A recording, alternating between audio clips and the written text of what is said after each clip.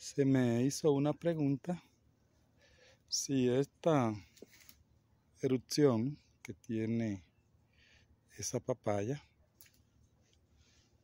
si eso le hace algún daño a la papaya, si hay que arrancarla. No, no hay que arrancarla. Eso no, no tiene nada que ver con, con ninguna enfermedad, ¿verdad? Más bien es una erupción que le salió ahí en la piel. Eh, le he visto a punto de cosecha y no tiene nada malo. ¿eh? Puede quedar ahí, no infectará nada.